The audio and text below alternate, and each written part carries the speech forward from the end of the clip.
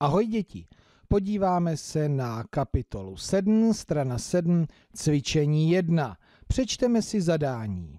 Použij do počítadlo, spočítej a napiš. Tak, máme tady příklad 7 rovná se 6 a několik.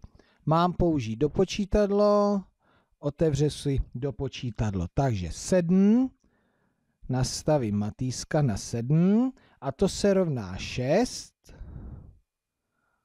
Dám první číslo a tady se mi ještě vejde 1. Výborně. Takže se vrátím do cvičení. 7 rovná se 6 a 1. 7 rovná se 1 a že by 6? Já si to radši udělám na tom do počítadle. 7 rovná se 1 a já si zrovna vemu šestku. No ano, je to tak, je to tak. Takže 7 rovná se 1 a 6. Ještě tušku.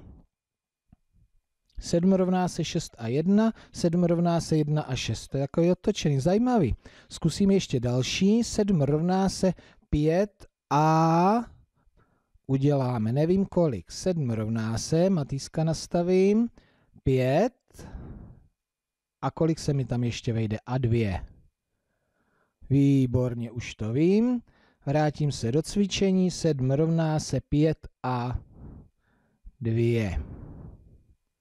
7 rovná se 2 a no já snad ani nemusím používat to do počítadlo. Jestli to funguje tak, jako tady nahoře, tak je to 2 a 5.